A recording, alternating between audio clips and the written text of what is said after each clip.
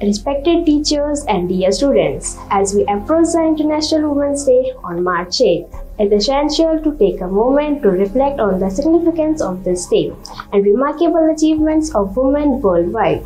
International Women's Day is a time to celebrate the social, economic, cultural, and political accomplishments of women and to advocate for gender equalities.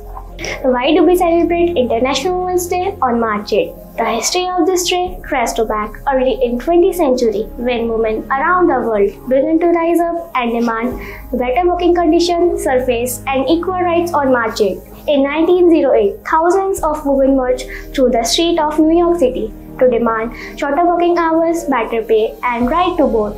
This event is marked the beginning of women's rights movement.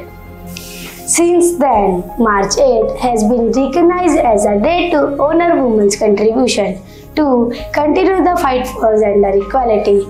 It's a day to celebrate the achievement of women in various fields, including science, politics, arts, sports, and education.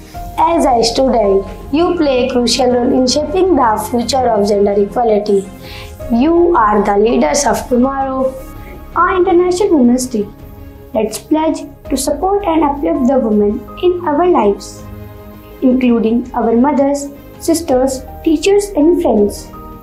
Challenge stereotypes and basic that limit opportunities for women and girls. Advocate for equal rights and opportunities for all genders. Empower women and girls to pursue their dreams and ambition without fear or discriminations and prejudice. Thank you.